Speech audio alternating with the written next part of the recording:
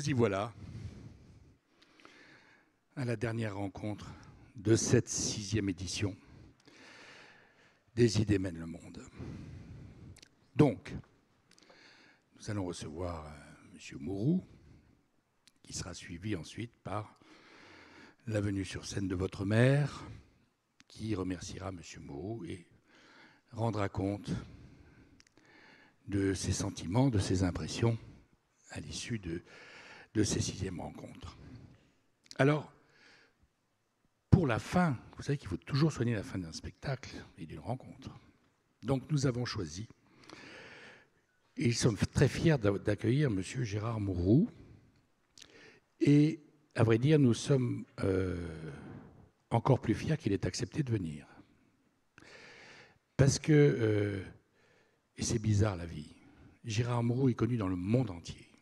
Le monde entier. Dans les universités du monde entier. Chez les savants du monde entier, évidemment. Tout le monde connaît Gérard Moreau pour les travaux qu'il a faits depuis des décennies. Mais en France, son pays, et malgré qu'il soit prix Nobel de physique depuis euh, l'an dernier, depuis 2018, qu'il ait fait de son étudiante canadienne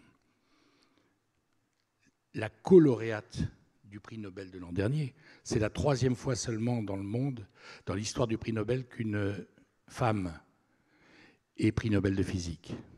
Et la troisième femme, elle doit le prix Nobel de physique à son maître, Gérard Mourou, et reçoit avec lui le prix Nobel. Vous voyez l'élégance du geste. Et malgré cela, il est, trop inconnu de, ben, de nous tous, de tous ses compatriotes. Et pourtant, il y aurait vraiment des raisons pour qu'on le connaisse parce que euh, Gérard Mourou, c'est le maître de lumière et c'est lui qui a mis au point un truc qui s'appelle le laser. Et c'est lui qui a découvert euh, les applications ophtalmologiques du laser. C'est-à-dire que 2 millions de personnes en France, chaque année, en France, sont guéries de malformations de l'œil ou de la fameuse cataracte, qui faisait qu'on ne pouvait il y a encore euh, quelques temps et pendant des siècles, on ne pouvait vieillir sans perdre la vue.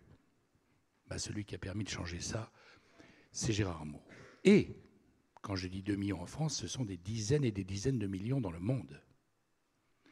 Voilà, vous voyez l'importance du personnage. Et pour moi, personnellement, j'ajouterai une chose qui me le rend infiniment admirable. Le laser date de 1960 année de création du laser. Et comme dans toute découverte intéressante, les militaires se, précipitent. Qu'est-ce qu'on peut faire avec le laser? On peut détruire plein de trucs, c'est une énergie formidable, etc.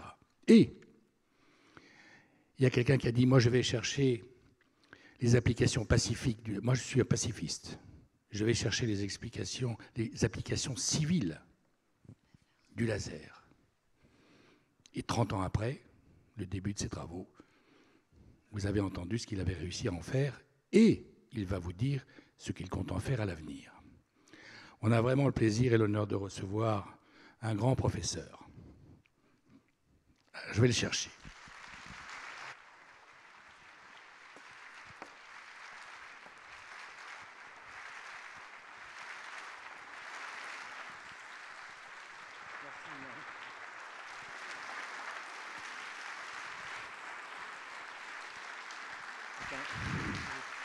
Mettez que vous voulez. J'applaudis avec tout le monde votre venue, cher professeur, et je vous laisse avec l'assistance qui nous accompagne depuis trois jours pour les idées mènent le monde. Merci, merci Philippe. Ah. Euh, je dois dire que lorsque je suis venu à Pau, il y a à peu près euh, un mois et demi, deux mois, je suis venu donner une conférence à l'université de Pau et on me dit voilà, maintenant il faut que tu ailles saluer euh, François Béraud, le maire. Donc euh, on va euh, à la mairie, on voit François, et on commence à parler. On commence à parler, et puis tout de suite on a vu qu'il y avait des atomes crochus quand même. Il y a des choses, bien qu'il soit vraiment un, littéraire et moi que ce soit un scientifique, il y avait quand même des choses qui étaient tout à fait euh, similaire. Et euh, il m'invite donc à cette rencontre. Il me dit, tu sais, j'ai une rencontre extraordinaire, etc. il a raison, c'était extraordinaire. on aimerait bien t'inviter et tout. Je dis ben oui, on va voir parce que mon calendrier est assez très très pris. et puis finalement, on a réussi à, ma secrétaire Cathy Sarrazin a réussi à trouver une place, etc. Et puis me voilà. Mais seulement, il m'avait caché que j'allais faire la clôture. Et alors,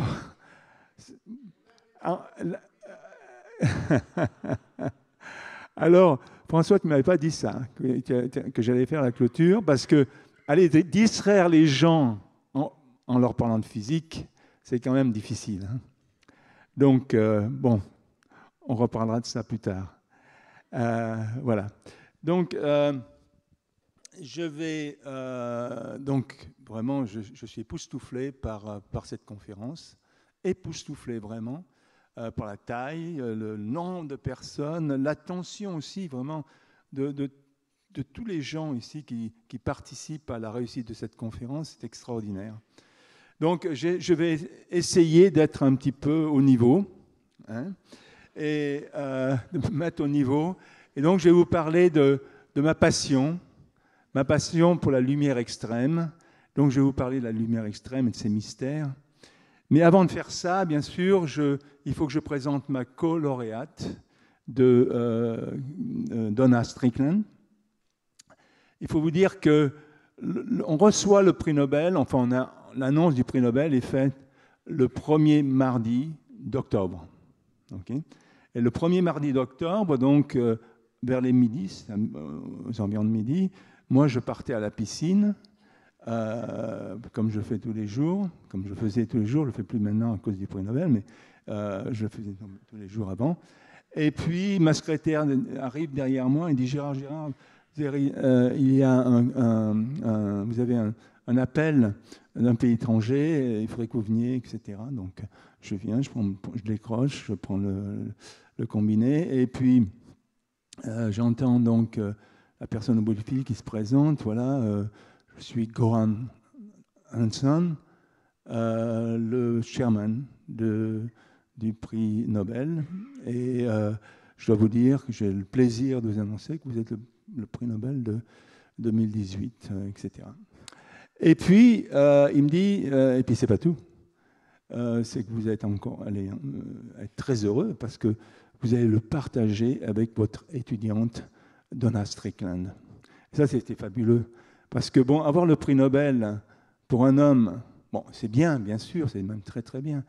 Mais euh, il y en a 200, 200 avant où qui l'ont eu déjà, dans le prix Nobel en physique, hein, j'entends.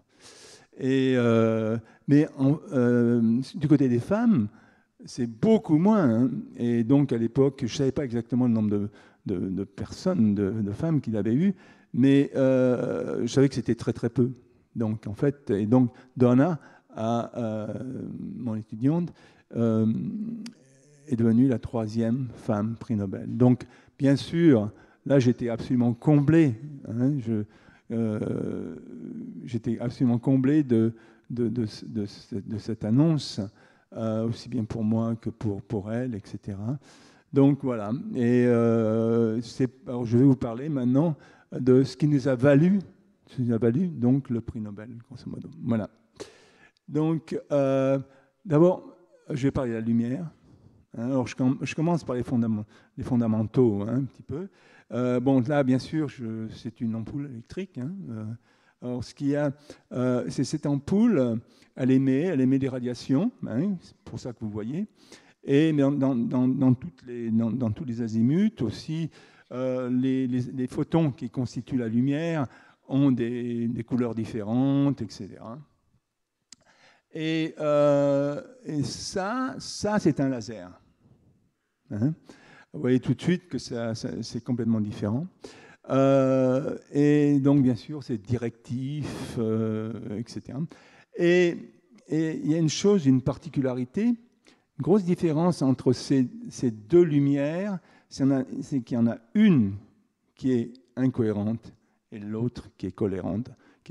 Et donc, je vais vous expliquer ça en, quelques, deux slides. Hein. Ce ne sera pas, un, traité d'une heure. Mais... Donc la lumière incohérente, c'est un petit peu euh, la lumière qui est...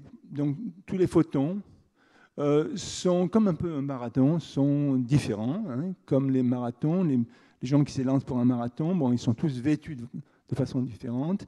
Ils ont tous des tailles différentes, ils ont des vitesses différentes, bien sûr aussi. Et ça, c'est la lumière incohérente. Maintenant, la lumière euh, cohérente, c'est ça. C'est que maintenant, euh, c'est un petit peu un défilé hein, de soldats où euh, tous les soldats, bien sûr, sont vêtus identiquement de la même façon. Hein, c'est rigoureux. Ils avancent au même rythme. Si on connaît un soldat, on connaît la position de tous les autres. Donc c'est quelque chose de très très régimenté, de très bien organisé, et ça c'est la lumière laser.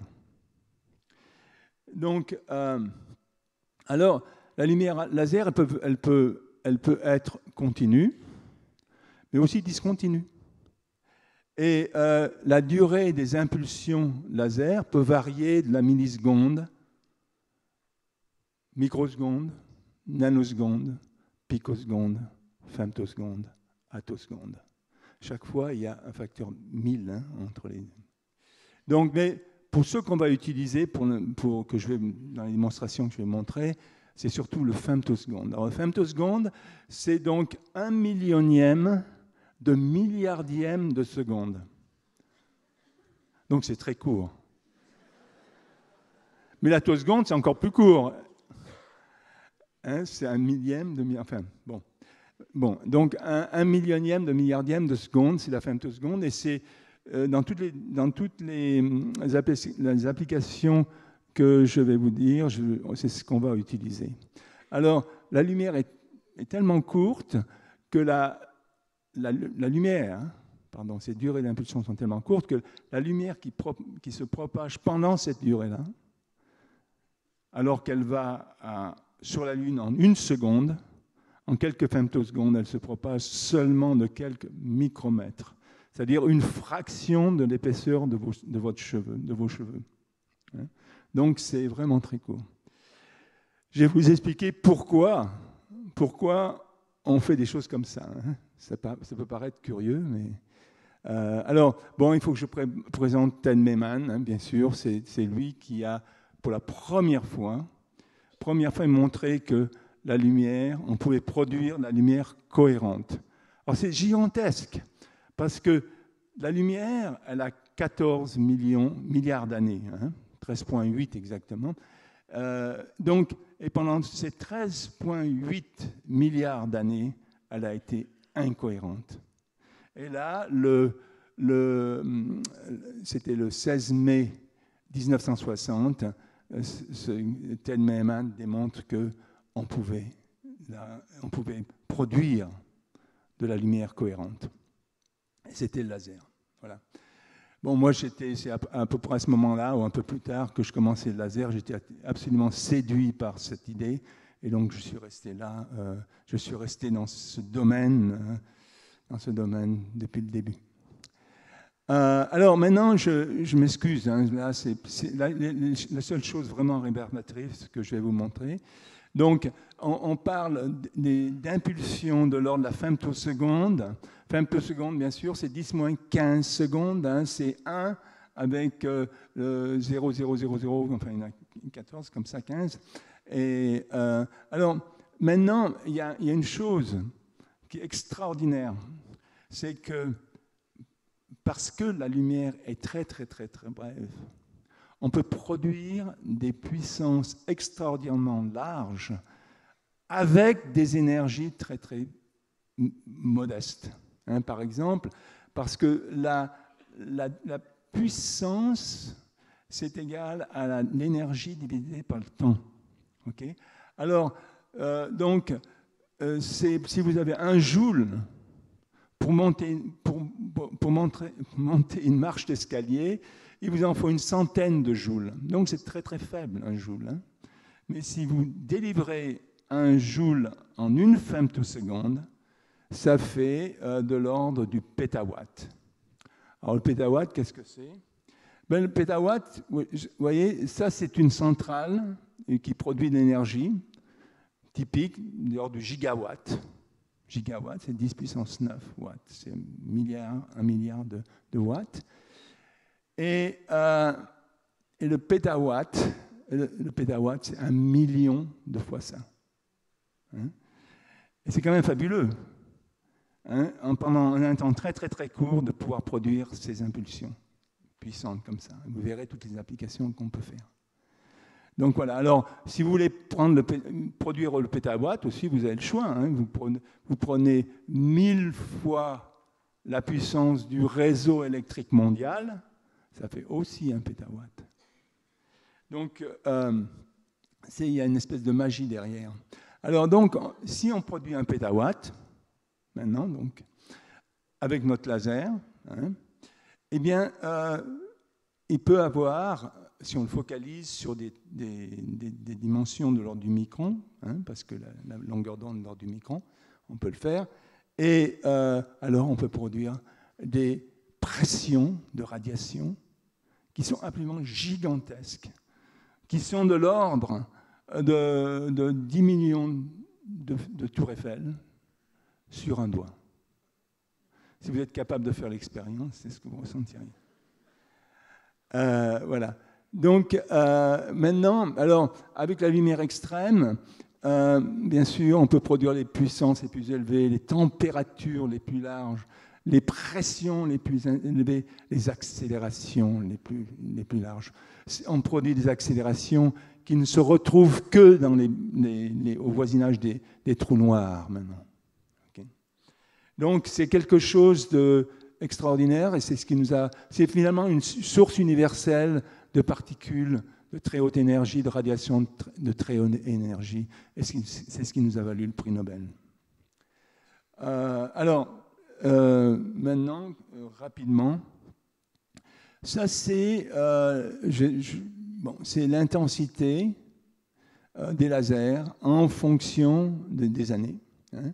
le laser a été inventé en 1960, comme je vous l'ai dit. Donc rapidement, l'intensité a augmenté puis après, on s'est arrêté à un espèce de plateau. Et le plateau était, était la, raison de ce plateau, elle était qu'on ne pouvait plus amplifier les impulsions. Parce que les impulsions euh, de, type que je vous ai donné, euh, eh bien, euh, en les amplifiant, eh bien, on, dépassait les seuils de rupture des atomes sur les miroirs et les, matériaux. Et donc, on a endommagé le matériau, donc on ne pouvait pas aller plus loin. Et c'est là qu'on est arrivé avec Donna, euh, avec le Chirp Pulse Amplification. Hein. En français, c'est l'amplification par dérive de fréquence. En anglais, c'est beaucoup plus rapide. Chirp Pulse Amplification, mais il ne faut pas confondre avec Certified Public Accounting. Euh, alors, euh, donc, et alors, on a créé cette invention-là, enfin, cette invention a donné. Alors là, après, l'intensité laser a augmenté de façon considérable. Euh, on va traverser des zones nouvelles hein, en physique d'interaction laser-matière, avec des propriétés complètement différentes, jusqu'à jusqu'à la matérialisation de la lumière ou la matérialisation du vide. Donc je vais un peu vous balayer ça rapidement. Alors je vais commencer par le plus simple. Je vais commencer par l'application du laser pour l'usinage. Bon, c'est évidemment c'est banal. On, a découvert finalement cette application. Normalement, on faisait les applications scientifiques, mais euh, cette application, euh, moment, nous a tendu les bras. C'était très facile à faire. on s'est rendu compte tout de suite que si on faisait de l'usinage avec des lasers femtosecondes, eh ben, il y avait des choses absolument superbes qui pouvaient se faire. Alors, par exemple, alors, il y a une chose, oui, il faudrait peut-être que je vous dise. Euh, la façon dont on.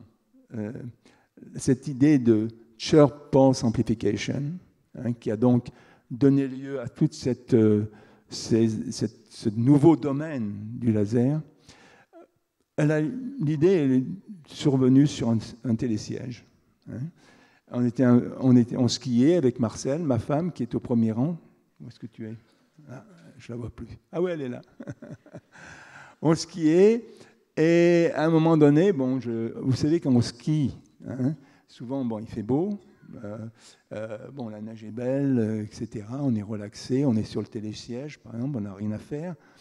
Et qu'à rêver, qu'à penser, etc. Et j'ai pensé à ce moment-là à cette idée de chair pulse amplification. Et là, vraiment. Marcel me dit toujours, mais tu as bondi. Et, je dis non, non, qu'est-ce qui se passe? Alors j'ai dit, écoute, j'ai une idée absolument nouvelle. Il faut que, que j'aille, je retourne au laboratoire.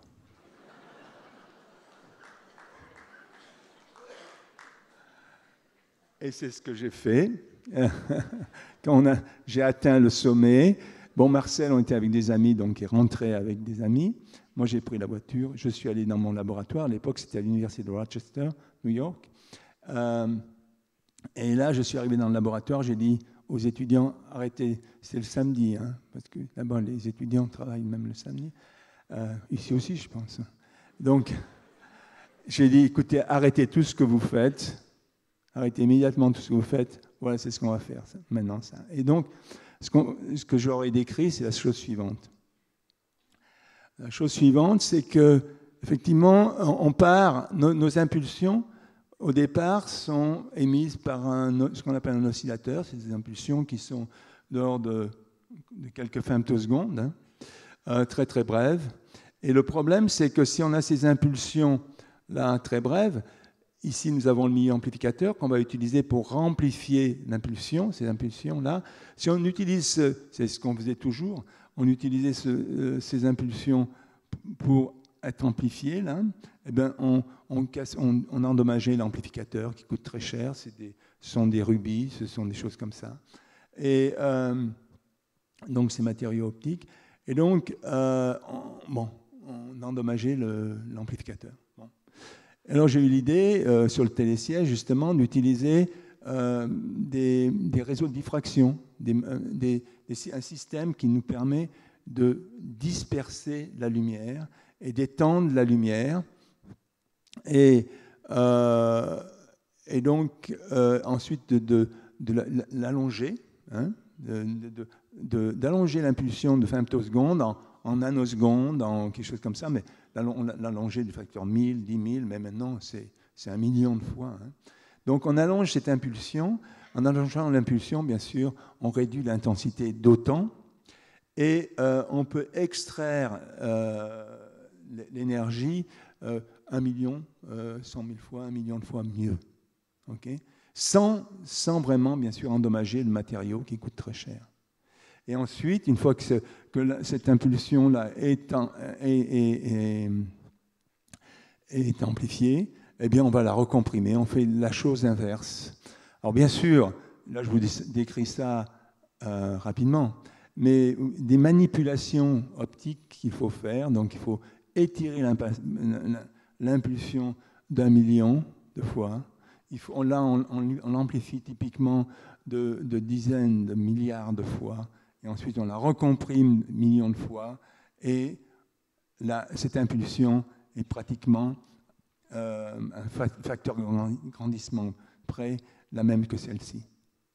Donc ça, c'était, ça a été un gros travail, euh, et, donc maintenant on en est là, euh, où maintenant on peut amplifier des impulsions à un tel niveau que il y a des applications qui sont absolument fantastiques et aussi où on peut, on va pouvoir simuler ce qui se passe dans le cosmos et des choses comme ça, avec l'interaction laser avec le vide. Euh, donc, euh,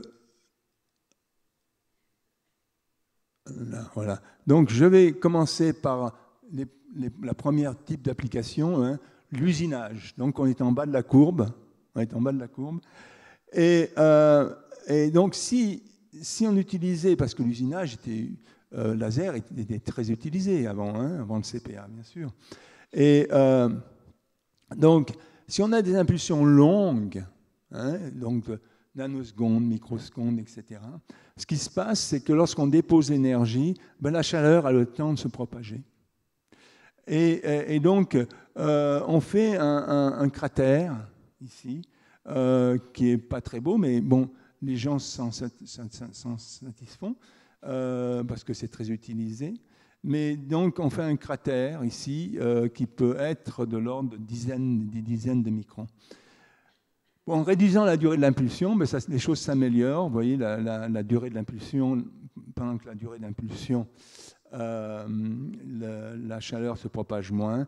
Et alors là, lorsqu'on a utilisé la, la femtoseconde, alors à ce moment-là, la chaleur n'a aucune chance de se propager, l'impulsion est trop rapide, on, excite le matériau et puis, euh, c'est fini. Et voilà, et, on a une ablation qui est extrêmement propre. Alors les résultats sont absolument extraordinaires. Euh, donc ça, c'est si vous utilisez une impulsion, un trou, euh, qui, serait fait si vous utilisez une impulsion d'un nanoseconde, un milliardième de seconde. C'est quand même court. Hein. Mais pour nous, c'est très très long. Et euh, par contre, si on utilise des femtosecondes, c'est-à-dire mille fois, mille fois plus court, alors à ce moment-là, euh, on obtient des choses comme ça. C'est il y a vraiment, une la perfection. On peut vraiment euh, usiner des matériaux aussi variés que bon, les métaux, les céramiques, les choses comme ça. Euh, et on peut le faire avec précision. Alors bien sûr, il y a euh, une très grande application, bien sûr, qui va venir. C'est, ah oui, une chose aussi, qui est très importante, c'est qu'on peut usiner à l'intérieur de, pièces optiques. Hein. Si par exemple on a un, morceau de verre et qu'on veut l'usiner à l'intérieur, mais de façon propre, eh bien on peut le faire parce qu'on peut mettre le, faisceau, euh, le fait, hop, pardon, euh, alors, ouais, on peut mettre le faisceau euh, exactement où l'on veut, ici au centre de là où c'est très intense, et puis, on peut créer donc des, surfaces, des choses comme ça. Alors, euh, évidemment, il y a une application très très belle qui va utiliser ce principe, c'est l'ophtalmologie euh, femtoseconde. Alors, des, fois, euh, il y a des choses absolument extraordinaires lorsqu'on fait la, la, recherche. On découvre des choses sans qu'on, bien sûr qu'on y ait pensé. Et c'est ce qui s'est passé. un de mes étudiants, donc, travailler dans le laboratoire, à aligner le laser, etc., donc un type, laser type CPA, qui était destiné à, être utilisé pour tout à fait autre chose.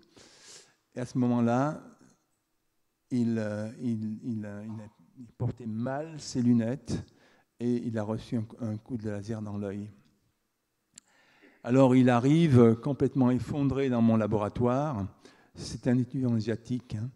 Euh, il arrive dans, mon bureau et il me dit Gérard, je m'excuse, je m'excuse, j'ai mal porté mes lunettes parce qu'à l'époque, euh, les lunettes de protection, en fait, quand on les mettait, on voyait rien après. Donc, les étudiants faisaient ça, ils levaient les lunettes, ils faisaient un réglage, ils le remettaient, etc. Et donc là, il m'a dit j'ai reçu le, le, faisceau dans l'œil et euh, euh, je suis désolé. Il était désolé, euh, ça c'est vraiment typiquement des Asiatiques, hein, parce qu'il savait que le laboratoire certainement allait, allait fermer. Il y avait un accident comme ça, on est aux États-Unis, c'est sérieux, et quelque chose comme ça, on ferme le laboratoire. Donc, euh, j'ai dit, écoute, bon, on va d'abord aller à l'hôpital et puis voir euh, vraiment ce qui se passe avec ton œil, après on verra le reste. Donc, on va à l'hôpital et là, on voit euh, un, interne, un étudiant en médecine, quoi, qui, devait, qui était chargé de, donc de, de, de, soigner Ditar. Ditar était le nom de l'étudiant. Et il regarde l'œil il regarde le fond de l'œil et lui dit, mais écoutez, c'est extraordinaire. Alors l'étudiant, ça, oui, qu'est-ce qui est extraordinaire? Il dit oui, effectivement, tu as reçu un coup de, laser dans l'œil, sur la rétine, mais l'endommagement est parfait. Parfait. Petit, avec les, corps, les, euh, les, bords très très précisément. Euh, c'était vraiment remarquable. Et alors, euh, tout de suite après, deux jours après, bien sûr, j'ai reçu un coup de téléphone donc de, de, l'interne qui venait justement d'examiner mon, mon, étudiant et qui me demande si il pouvait venir travailler dans mon laboratoire parce qu'il avait tout de suite vu l'application qui pouvait Ensuite, euh, on a été, bien sûr, on a eu une grande réunion à l'Université du Michigan euh, avec le, président et tous les doyens, les 15 doyens du, collège, etc.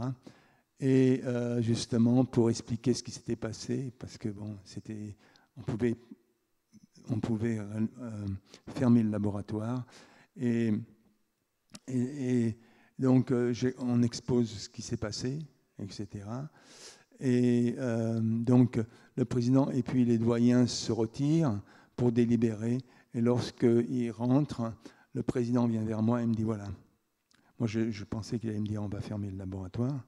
Mais il me dit voilà, on a, on a, étudié, etc. Et ce, qui est mieux pour, pour, pour, pour nous de faire, c'est de te donner 500 000 euros pour que tu continues. C'est vrai. Et ça, je, je, le dis toujours. Chaque fois que je suis, maintenant très souvent, je suis avec des présidents d'université, etc. J'ai dit, ben, voilà, je leur cite toujours l'exemple et je souhaite que vous ayez la même attitude s'il se passe quelque chose comme ça. Euh, parce que c'était rare quand même. Voilà, donc, euh, parce que souvent les gens me demandent alors quelle est la différence entre la recherche aux États-Unis et en France? Voilà. J'ai rien dit. Hein. Euh, voilà, donc euh, ça c'était bien sûr une grande application de la laser femtoseconde qui n'était pas prévue. Hein. C'est, sérendipité des fois aide. Hein. Euh, donc, alors là oui, on voit une découpe par exemple qui, est faite, c'est des vieux, des vieux résultats ça, dans la cornée, la cornée d'un porc. On voit très bien que on peut faire des flaps, quelque chose qui est commun en ophtalmologie. Euh, ça, c'est le femtoseconde et ça, c'est le picoseconde. Et c'est une pulsion très brève, hein, picoseconde, c'est bref, mais c'est pas assez bref. Donc, il faut aller, pour être plus précis, il faut être bref. Et donc, maintenant, c'est une industrie. Il y a 24 millions de. Enfin, c'est plus maintenant. depuis, depuis donc, on a introduit cette, technique euh, il, y a, il, 2 millions à peu près de personnes qui euh, subissent ces opérations, aussi bien pour la cornée, pour que la cataracte, etc. Qui utilisent le fait qu'on puisse, qu'on a ce laser femtoseconde a des, vraiment des caractéristiques, c'est vraiment le, bistouri parfait et qui peut pénétrer. Hein.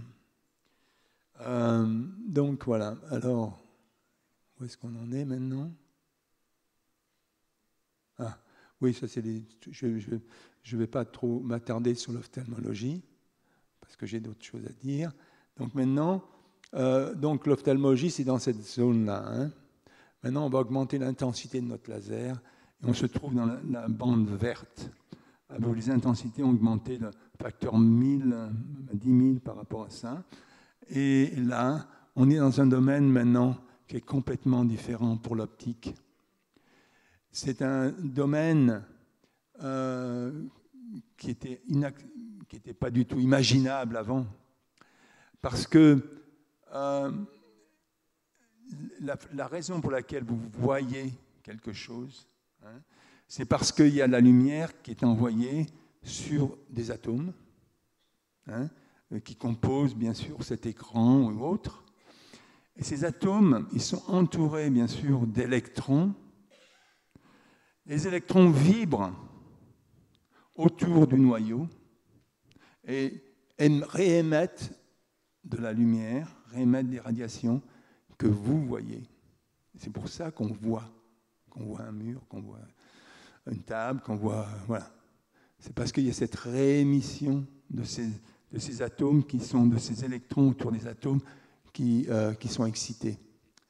Alors, quand c'est la lumière qui est banale, je dirais, quand c'est la lumière comme, comme, qui nous entoure tout le temps, euh, bon, le déplacement des atomes, la vitesse de ces atomes est faible. Mais lorsqu'on est dans les, dans, les, euh, dans les, domaines euh, comme dans la bande verte ici, la vitesse des atomes, des, des électrons qui oscillent autour de l'atome, maintenant devient relativiste. C'est-à-dire que la vitesse de ces atomes atteint la vitesse de la lumière. Et parce qu'ils atteignent la vitesse de la lumière, ou sont proches de la vitesse de la lumière, leur masse change et tout change. L'interaction laser-matière dans ce domaine est complètement différente.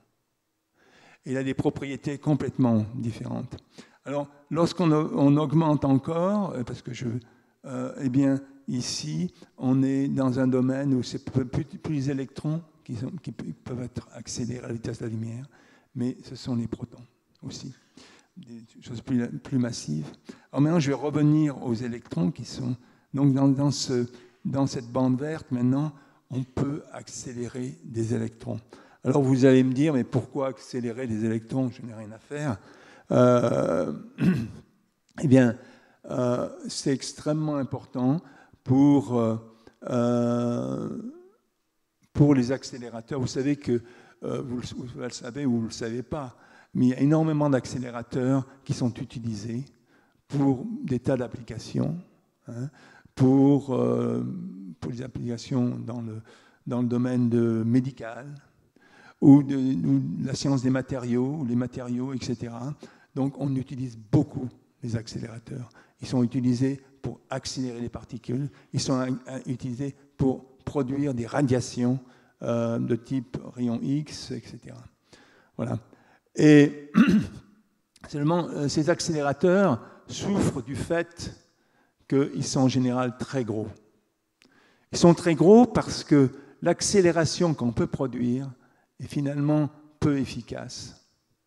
Alors, euh, mon ami euh, Toshi Tajima, ici, en 1979, invente ce qu'on appelle l'accélération par champ de sillage. Hein. C'est Wakefield Acceleration en anglais. En français, c'est accélération par champ de sillage. Et euh, c'est finalement le laser va produire des vagues. Hein. et les, électrons qu'on veut accélérer vont être les surfeurs qui vont, utiliser, qui vont surfer les, vagues. Et ça c'est une, efficacité qui est absolument remarquable. Je vais vous faire voir dans une minute. Euh, euh, donc, alors, en réalité, qu'est-ce qui va pas là? Ah, finalement, voilà. Alors, euh, donc, ce qui est, vous allez voir, c'est quand même remarquable. Hein, j'aimerais que vous appréciez ce fait-là.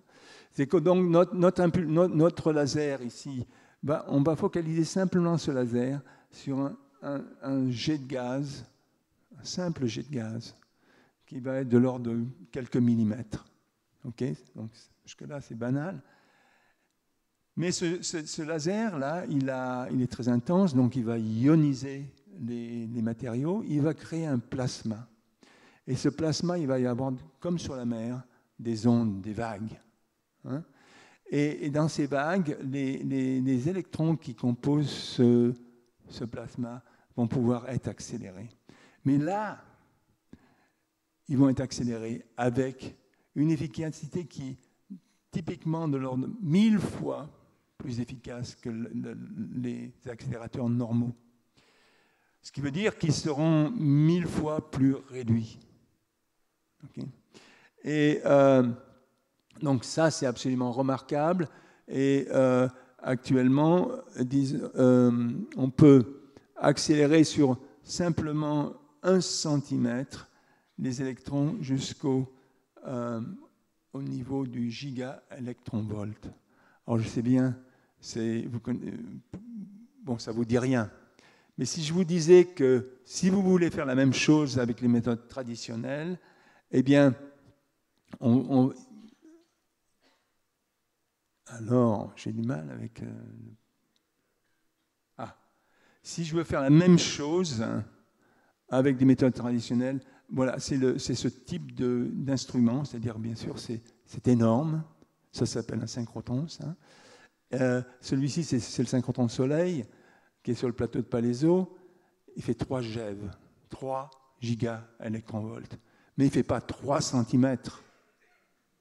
Donc euh, euh, c'est quelque chose d'absolument remarquable. Alors maintenant, parce qu'il y a une utilisation extraordinaire, maintenant, par exemple, je pense je passe à une gamme au-dessus.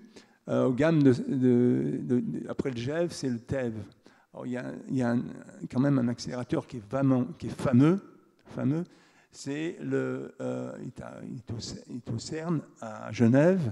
C'est avec celui où on a découvert, on a démontré les, les bosons, le boson de Higgs hein, il y a quelques années.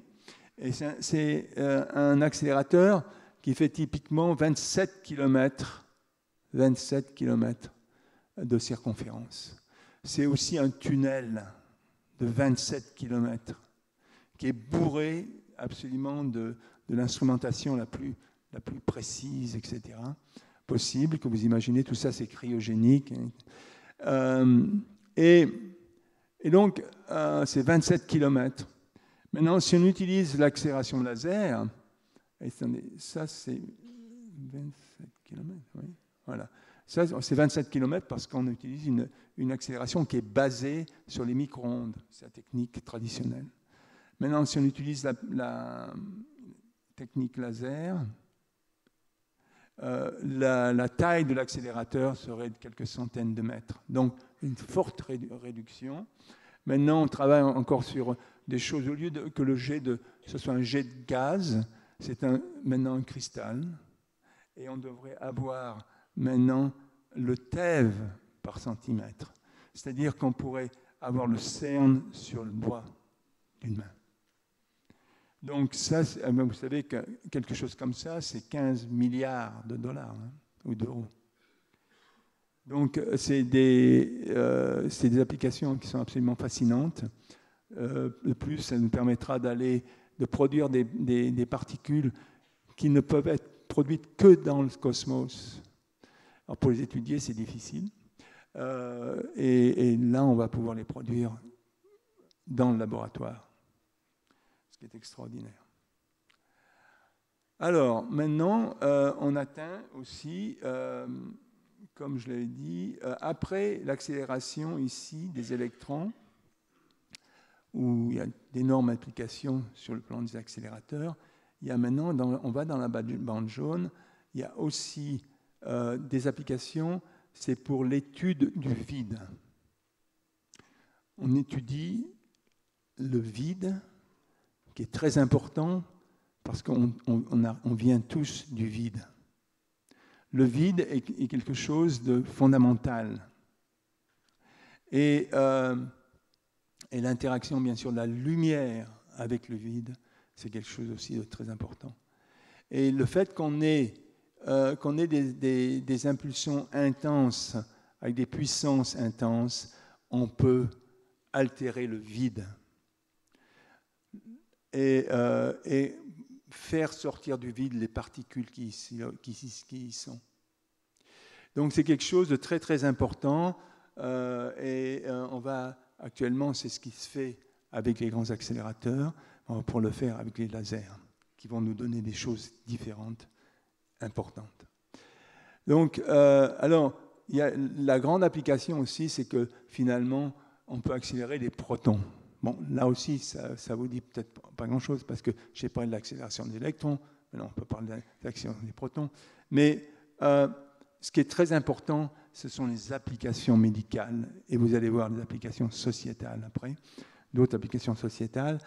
Euh, par exemple, les protons, il y a quelque chose d'absolument extraordinaire euh, pour la thérapie, la thérapie proton, ça s'appelle la protonthérapie, hein, qui existe, qui existe maintenant, qui a été démontré, mais ça utilise des, accélérateurs absolument énormes, beaucoup plus grands que cette salle. Hein. Et, et donc, si vous avez malheureusement une tumeur, une tumeur qui est logée parmi des tissus qui sont sains, eh bien, si vous avez des tumeurs et vous utilisez par exemple les électrons euh, comme radiation et puis euh, des faisceaux de radiation ou des, rayons X, à ce moment-là, euh, vous allez brûler la, la, tumeur, certes, mais vous allez aussi brûler les tissus qui sont avant. Et le proton est différent parce que lorsqu'on irradie la tumeur par, euh, les protons, euh, eh bien les protons, ils vont pas déposer leur énergie, ou ils peuvent ne pas déposer leur énergie sur les tissus sains qui sont avant la tumeur. On peut se débrouiller pour qu'ils la déposent uniquement euh, sur la tumeur et pas sur la, avant la tumeur. Elle se dépose, comme on dit, sur le pic de Bragg. Bon, je ne vais, pas, vous démontrer exactement pourquoi, mais donc vous concevez tout de suite que c'est quelque chose, c'est la, la, thérapie de choix. Hein, si malheureusement vous êtes atteint d'un cancer, ou si un de vos proches l'est. Voilà. Donc il y, a, il y, a, vraiment là, il y a un, espoir extraordinaire, je trouve. Euh, alors, il y a, après, il y a l'application, la très belle application dont je rêve, c'est euh, la transmutation des déchets, nucléaires. On sait que maintenant, ben, on est au courant qu'avec le changement climatique, etc., on est peut-être sur la mauvaise voie. Il va falloir remplacer le charbon par autre chose. Le charbon ou le pétrole par autre chose. Et l'autre chose pourrait être le nucléaire. Le nucléaire, si si je dis bien, on peut se débarrasser, des, neutraliser les euh, déchets nucléaires. Et là, euh, on peut le faire. On peut le faire si on a des, ce qu'on appelle des neutrons, mais ça, si on peut les produire avec le laser, et euh, le tout, c'est les produire à, bon, bon marché maintenant. c'est une, là aussi, la transmutation, c'est quelque chose de connu, c'est quelque chose de vraiment, euh, il n'y a pas de problème. Ce qu'il faut, c'est maintenant de le faire avec, avec un prix abordable. Euh, donc c'est ce que je vous dis, à, partir du laser, euh, un laser qui est relativement compact, etc., on peut produire avec ces intensités extrêmement importantes des neutrons. Ces neutrons vont être, ils sont là, hein, et ici, on a ces, noyaux d'éléments. Hein. Ici, c'est le neptunium, par exemple. Euh, il y a quatre bad guys, hein, je dirais, en, nucléaire, ce qu'on appelle minor actinide, actinide mineur. Ce sont, euh, dans la production de l'énergie, on, les crée, donc il y a le neptunium, l'américium, le curium et le plutonium. donc, et c'est euh, euh, ces éléments émettent des radiations pendant très longtemps, hein, des centaines de milliers d'années. Dans le cas du neptunium, c'est 2 millions d'années. Hein. Donc, euh, il est évident que ça, c'est un sérieux problème. Et donc, il faudrait, il faudrait donc absolument trouver une solution pour les neutraliser. Alors, l'idée, c'est maintenant, bien sûr, d'utiliser le laser, produire ces neutrons à bon marché, et essayer de faire la transmutation de ces, de ces actinoïdes mineurs. Alors quand on fait la transmutation, après, le 2 millions d'années peut devenir une dizaine de minutes. En laboratoire, en fait, c'est quelques secondes. Donc euh, euh, c'est tout à fait prodigieux et c'est une méthode, je pense, tout à fait élégante pour, pour, le, pour le reste. Et puis, je pense, euh, c'est une des voies une des voies importantes que j'aimerais explorer. Donc, donc ça, c'est cette application. Puis après, il y a une autre application aussi qui est très importante, c'est se débarrasser de tous les débris spatiaux que l'on a créés depuis le, début de l'ère spatiale en 1957, hein, avec le premier Spoutnik. Euh, et c'est tous ces, éléments, maintenant, euh, il y a des millions de, millions de débris qui euh, flottent dans la nature. Et, donc, il faudrait arriver à se débarrasser. donc, on propose, je proposais d'utiliser le laser, le laser qui sont développés pour toutes les autres applications, pour, les, pour s'en débarrasser. Hein. Je vais vous montrer comment on va faire. En fait, euh, alors, voilà. je voulais vous dire aussi que effectivement le, le, nombre de la quantité euh, de matière qui a été envoyée dans l'espace depuis l'ère euh, le, début de l'ère spatiale, c'est 28 000 tonnes, c'est 4 tours Eiffel. Et, il y a actuellement à peu près la moitié d'une tour Eiffel qui flotte sous forme de débris.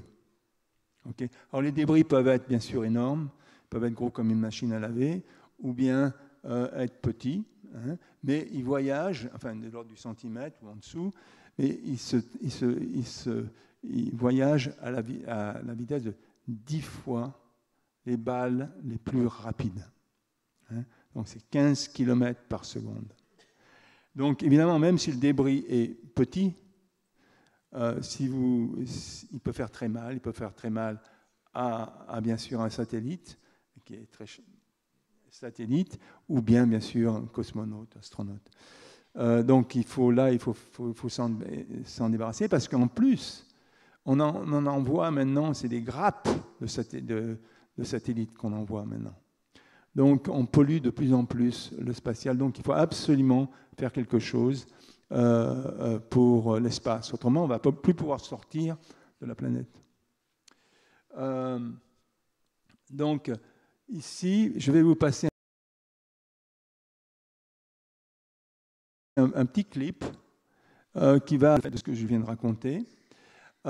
c'est basé en fait sur une, histoire vraie, puisque c'est un événement qui a eu lieu en, en 2007. Euh, ce sont les. Non, en 97, pardon. 97, 97.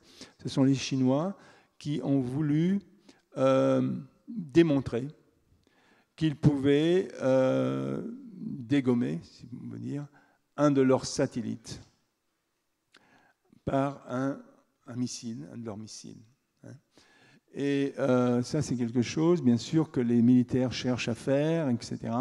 Bon, eux, ils l'ont fait, mais ils ont, ils ont bien sûr contribué à créer énormément de débris euh, avec cette expérience-là. Et c'était triste de voir aussi que les Indiens, maintenant, le font. Il y a eu une expérience qui a eu lieu il y a 4-5 mois, euh, et dont les Indiens étaient très très fiers parce qu'ils avaient pu dégommer leurs satellites. Euh, ça montre une certaine maîtrise hein, de, l'espace. Ils étaient très très fiers, mais c'est bien sûr des expériences comme ça sont très très polluantes. Et j'espère qu'on va, on va euh, disons, les décourager d'une façon ou d'une autre. donc, ici, c'est l'histoire donc de ce, de ce qui s'est passé en, en, en, 2007. Donc, c'est les il y a un antisatellite, un missile antisatellite qui est arrivé, qui a fait donc qui a fait exploser un, satellite et qui a créé des, des, millions, des millions de débris qui flottent dans, l'espace. Et maintenant, euh, la solution qu'on propose, c'est un laser, ce, type de laser que nous construisons, qui s'appelle ICANN, et euh, qui va être envoyé dans l'espace. Et euh, celui-ci donc va être utilisé non pour lorsqu'il voit un satellite. Non, voilà. Euh, il va pas le, pulvériser, mais il va le changer sa trajectoire.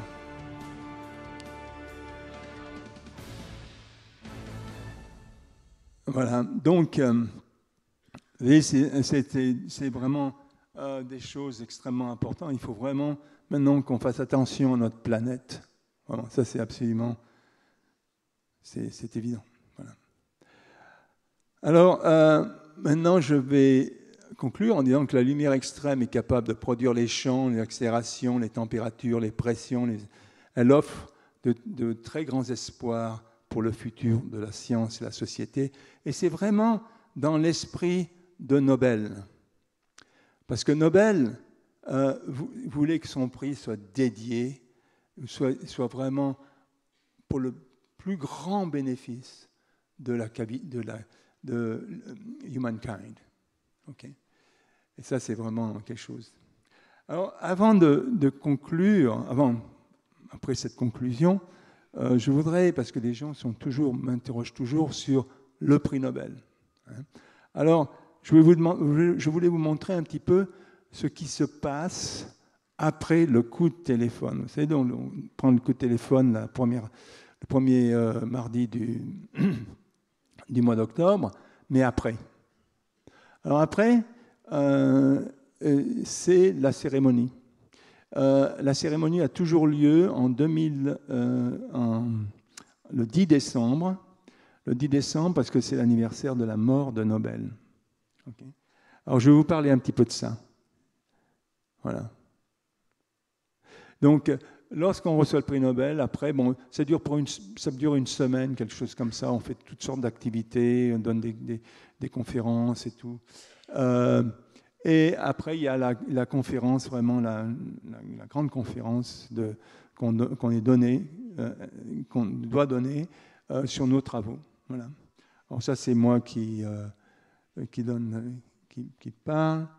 Ensuite, ça, c'est Donna. Et alors, oui, voilà, donc ça se passe bien. Attendez. Alors après, alors après, il y a un truc vachement intéressant. Euh, enfin, c'est qu'il faut apprendre à recevoir le prix Nobel. Pas évident, hein Pas évident du tout. Euh, et, là, on est en train de faire cet exercice ici, euh, parce que bon, il faut, y, a, tout un protocole, la façon de s'avancer, la façon de, saluer, etc., le, jury, etc. Et là, il y a cette, dame-là qui, bien sûr, qui, qui, fait le roi, et moi qui reçois le, prix. Hein, voilà. Et puis, je, on va faire ça de façon très, très rigoureuse. Euh, et après, alors, ouais, bon, là, on se avec euh, Donna, on regarde les autres, euh, les autres lauréats le pratiquer aussi. Et euh, bon, avant la cérémonie, donc il y a Marcel et puis Donna qui, qui m'ajustent mon, mon nœud papillon. Et après, il y a, la, cérémonie où, on, reçoit le prix. ici, c'est la famille royale, bien sûr, avec derrière les membres du jury euh, et donc là, je reçois mon prix. Euh, bon, je suis très fier de, le recevoir, c'est évident. Et ensuite, voilà, il y a tous les, il y a tous les lauréats ici.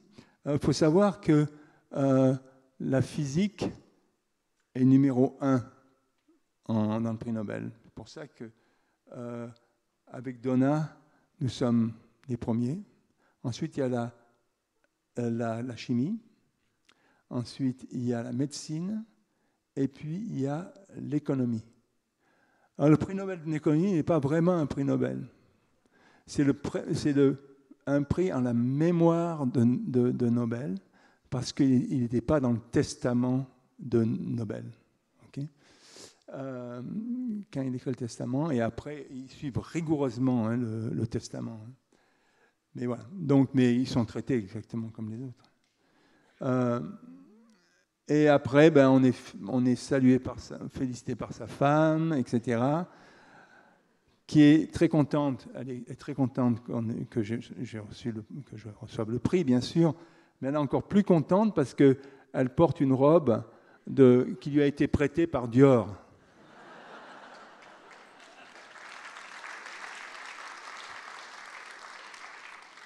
Donc, il était très, très, très heureux. Après, euh, alors, après, il y a le, le banquet. Alors, le banquet, c'est quelque chose de phénoménal. 1500 personnes, c'est gigantesque, gigantesque. Et euh, là, bon, c'est la table royale, bien sûr, et les lauréats sont au centre, ici. Alors, euh, comme je vous l'ai dit, la physique est, en tête, toujours. Donc, Donna qui est une femme, bien sûr, elle est à, à, droite du, roi. elle aime, on voit visiblement qu'elle aime ça. Hein. Et bon, et moi, bon, je suis aussi à droite de la, reine et, et, de la princesse Sophia. Euh, vraiment deux personnes qui sont esquises. Et ensuite, là, alors oui, après, vraiment le moment le plus, le plus, le plus émotionnant, c'est euh, celui-ci. Donc, tout le reste, c'était glamour. Hein. Vraiment énormément de. Vraiment très intimidant, etc. Mais celui-ci, il est encore plus. Parce que le dernier jour, et ça, c'est la dernière chose que vous faites quand vous recevez le prix Nobel, le dernier jour, la Fondation Nobel vous invite à passer Bon, vous réglez les détails euh, du chèque, euh, des choses comme ça. Et après, ils viennent, ils, amènent des, enfin, ils ont, amènent un cahier ou deux cahiers euh, qui, sont vieux, qui sont rien d'extraordinaire. Il n'y a pas de dorure, il n'y a rien. Et alors, pourtant, on est, là, on est très très émotionné parce que ces cahiers finalement contiennent la signature de tous les prix Nobel. Et on vous demande de mettre, votre signature dans, dans, ce, dans, ce, dans ce cahier qui est absolument super prestigieux. Voilà. Et je crois que je vais m'arrêter là en vous remerciant pour votre attention.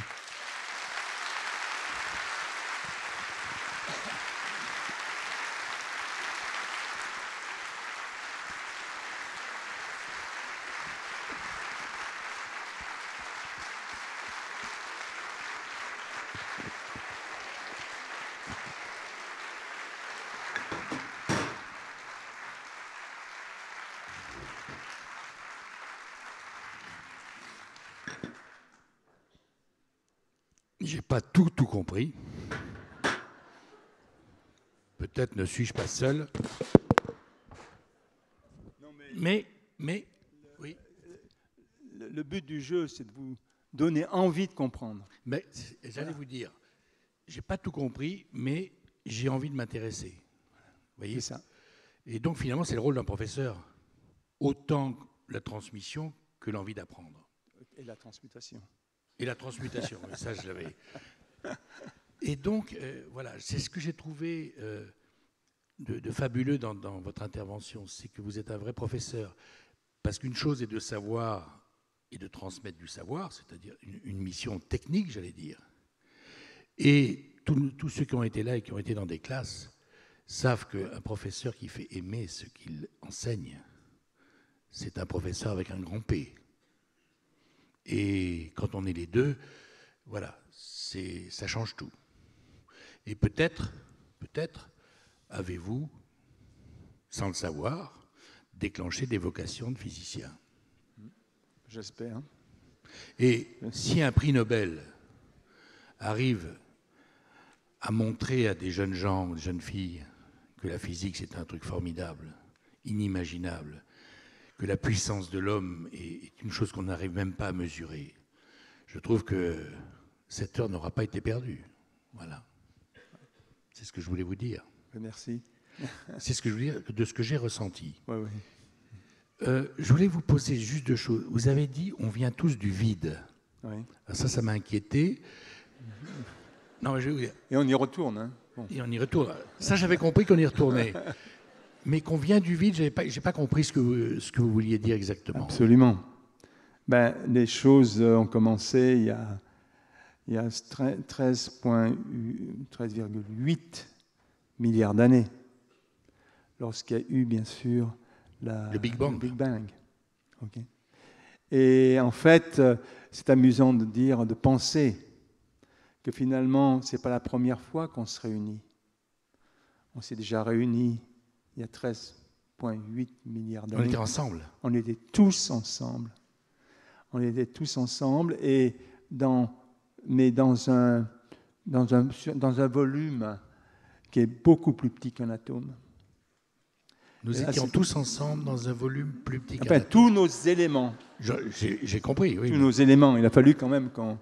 Ouais, absolument. Absolument. Et euh, ça, c'est assez fascinant parce que justement, euh, on, y a, y a beaucoup de, on parle de croyances, des choses comme ça au sens religieux et tout. Mais la personne qui a, qui a vraiment été le pionnier là-dedans, qui a pour la première fois proposé, émis l'hypothèse qu'on venait d'un ce qu'il appelait à l'époque l'atome primitif, c'est Georges Lemaître. En fait, c'est euh, un, un, religieux. C'était un religieux, puisqu'il est mort. Quelle époque? Euh, oh, C'était euh, en, 18, en 19, 1920. Euh, Donc exactement un siècle. exactement un siècle. C'était un ami d'Einstein, c'était un ami de tous les physiciens. C'était un, c'était un religieux, c'était donc un, un, chanoine, je crois, oui, euh, qui a toujours pu concilier la science et la, et la métaphysique et la, physique, la physique. Et, euh, et donc, alors cette, cette hypothèse, qui était vraiment une hypothèse un peu vraiment courageuse. Hein euh, parce que bon, on voyait, que tout semblait partir d'un point. Je peux vous interrompre une seconde Vous dites qu'on vient du vide et vous me dites maintenant qu'on vient d'un atome. Oui, mais après ça se disperse. Ça se disperse. Oui. non, enfin, disons, on ne sait pas très bien euh, ce qui s'est passé dans, le premier, dans les premiers. Euh, oui, moment, 10, 10, moins, 10, moins, 10, moins, 30 secondes. On, on ne sait pas très bien. Mais après, bien sûr, on a, on a été, euh, euh, le rayonnement, les particules ont tout été créées. Dispersées. C'est ça que vous voulez dire ah Oui, elles ont tout, absolument euh, dispersées. Et elles, sont, elles nous composent maintenant toutes. Se sont recombinées, etc. Mais après, après ben, on est arrivé au vivant. Mais donc, il n'y a pas que le vivant qui, est, qui, est, qui, vient du vide. Qui vient du, vide. Tout, la table, tout. La, bouteille. Euh, tout. Tout vient du même endroit. Tout. Vous ne vous souvenez pas peut-être, mais je vous garantis que c'était comme ça. C'est un peu effrayant, non C'est passé, hein, ça s'est passé il y a... Non, mais quand on sait ça, c'est-à-dire, qu'est-ce qui reste de... Vous voyez, de quel regard on voit les différences quand on sait qu'on vient tous du, ah, même. C'est ça qui est beau. hein peu, on, vient tous du, même. Euh, Pas simplement le vivant, tout ce qui est inerte, tout ce qui est. Absolument tout. Cette table, tout. Enfin, tout ce qui compose les éléments. Tout ce qui hein. compose, bien entendu. Bien sûr. Euh, est-ce que ça vous a donné.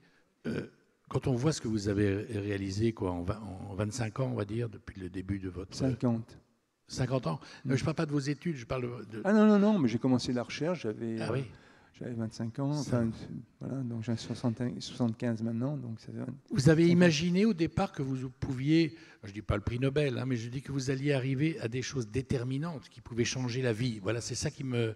Est-ce que vous aviez comme idée qu'avec la science, qu'avec ce que vous aviez appris, de, ce que vous pouviez améliorer, vous étiez en mesure de, à une échelle évidemment, de changer quelque chose dans la vie des gens et du monde euh, Non, pas, vraiment, pas, vraiment, pas vraiment. J'étais assez modeste. Je sais que j'étais extrêmement intéressé par euh, les découvertes, le fait de pouvoir découvrir quelque chose. Ça, c'est quelque chose d'inimaginable. Ah on est le premier à découvrir un effet. C'est quelque chose, on a un plaisir, mais qui est énorme. Euh, et puis euh, découvrir la beauté finalement de la nature. Parce que vous avez donc vous donne, vous avez, vous êtes payé pour découvrir. Ça, j'ai toujours trouvé fabuleux quoi, dans le, métier de chercheur, euh, de professeur, enfin, personnes qui sont actifs dans la... C'est d'être vraiment payé pour découvrir. Et ça, c'est quelque chose de fabuleux. Donc, euh, évidemment, c'est fait. Euh, le, prix qu'il faut payer, bien sûr, c'est un, un, sacerdoce. Hein. Euh, mais bon, on, aime ça et puis on essaie de le, faire, de le faire partager à sa famille. Comme ça, on peut être accepté. Comme ça, Marcel peut eh m'aider. Euh, Avez-vous deux vies? Ah non. Professeur, est-ce que vous avez une vie euh, de recherche et une vie comme nous Non, je n'ai pas pu séparer ça. Il y, y, en a qui le font. Hein. Il y en a qui arrivent à, vraiment à séparer les séparer. choses. Ah, moi, j'ai pas jamais pu. Jamais pu. Non, parce que les, quand on a des, idées, sont tellement, il y a des idées qui, sont, qui vous prennent tellement euh, qu'il est impossible pratiquement de penser à autre chose. Mais ça, je crois que ça, c'est, vrai quand on lit les, les hommes de, ce, que Fermi dit, ce que Einstein, etc. Euh, non, finalement, en fait, on est seul. On est seul avec soi. Même si on a une équipe comme vous. Mais oui, même, même si on a une équipe. Ah ça, part, ça part d'une personne, ça part de quelque chose. Et non, on est seul, bien sûr. Vous savez, c'est fascinant d'entendre ça. Vous êtes quelqu'un qui a découvert quelque chose d'invraisemblable. Vous, dites, vous dites on est seul, vous dites le moment où on découvre, on se non, dit... mais je pense que c'est la même chose pour un écrivain, c'est la même chose pour un, ah un compositeur. Non, mais ils sont seuls. Ah, ils sont seuls, ah oui. C'est ça que je veux dire. On est seul en face de sa, sa, copie. Sa copie, quoi. Eh oui. On ouvre une page blanche, en fait, c'est ce que vous disiez tout à ben l'heure. Voilà, voilà. On est le premier à rentrer sur un territoire que personne n'a foulé avant vous. Oui. C'est-à-dire, on, peut rechercher, on peut rechercher dans un domaine, on ne trouve pas forcément. Hein, c'est comme les champignons, quoi. On peut aller aux champignons, mais on ne les trouve pas forcément, surtout pas moi. Euh, euh, je sais qu'ils sont là, hein, mais euh, c'est tout. Voilà. Non, et, mais alors, quand, quand on, on arrive à, à, ce que l'on pensait, etc., c'est une jouissance énormément. La même que celle qu'on a escaladé un pic ou atteindre quelque chose comme ça. Une victoire, euh, une victoire inimaginable. inimaginable. Et dans le cadre de cette victoire, parce que celui qui monte un pic, il se fait prendre en photo et on dit, tu as vu le pic qu'il a monté, il est formidable. Est-ce que ça vous a dérangé un moment d'avoir été le premier à fouler un territoire qui a été tellement utile pour des millions de gens? Oui. et ce, qui est, ce qui est gênant, c'est quand on découvre qu'on était deuxième en fait, au troisième. Ça, ça arrive très souvent. On croit ah. avoir fait une première. Puis après, ben, on regarde qu'il y, a un gars qui l'a fait 5 ou 10 ans avant, ou qui a fait quelque chose de très ah proche. Ça, c'est difficile.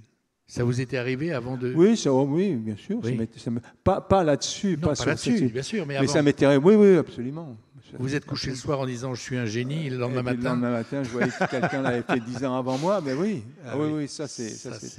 Ça, c'est très commun. Je voulais vous demander une chose aussi. Euh, plus, technique, quand vous dites, vous parliez de ce qui était imaginable pour vous, dans la possibilité de, de réduire les radiations de réacteurs, et mhm. d'éviter qu'ils nous, qui nous pourrissent la vie pendant des millions d'années en dessous, euh, c'est de l'ordre de, de quel... Euh, parce que vous avez, si j'ai bien compris, vous avez dit que c'est une question d'argent, de recherche, c'est-à-dire que ça coûtera beaucoup d'argent de mettre euh, tout ça au point, et que de quelques millions d'années, ça pourrait durer une trentaine de minutes ou une, ou une heure.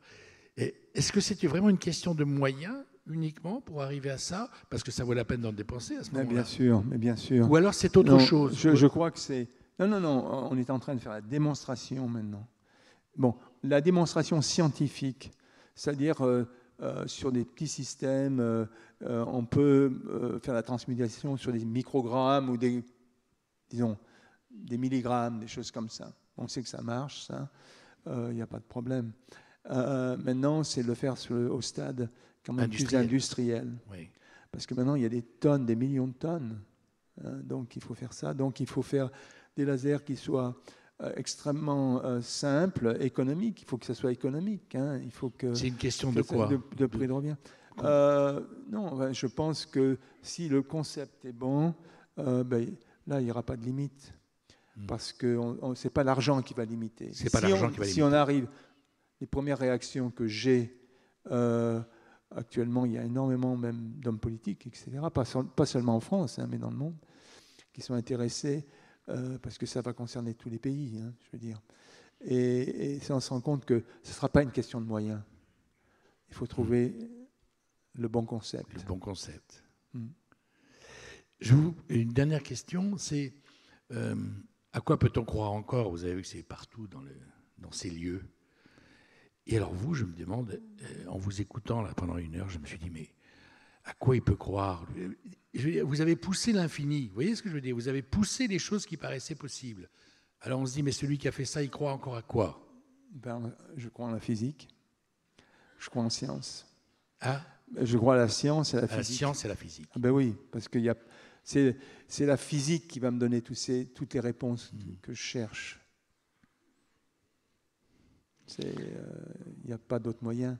C'est pour ça qu'il y a tous ces observatoires qui sont créés, ces satellites hmm. qui sont. C'est parce qu'il y a des gens comme moi qui se demandent ce qui se passe, comment les choses se sont passées, comment elles ont été créées, etc.